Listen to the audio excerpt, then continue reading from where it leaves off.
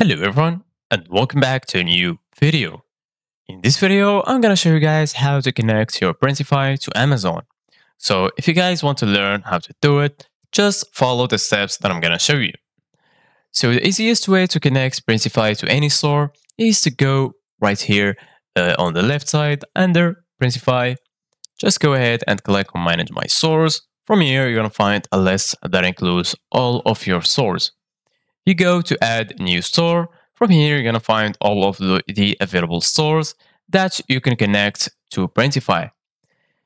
As you can see, guys, Amazon is not included in this list.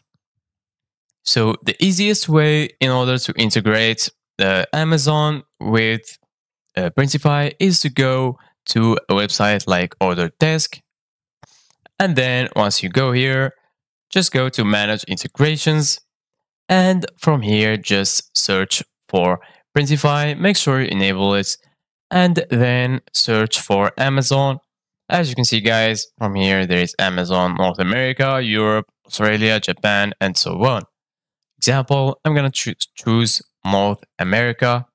Click on it, enable, and then click on connect to Amazon. And all you need to do, guys, right now is sign into your account in order to connect it to your uh, account. So basically guys, once you sign in, your Amazon account will be added here and then uh, you will be able to integrate Amazon to Printify. So this was the easiest way to uh, integrate Printify to Amazon. So this is it guys for today's video. Thank you guys for watching. See you guys in the next video.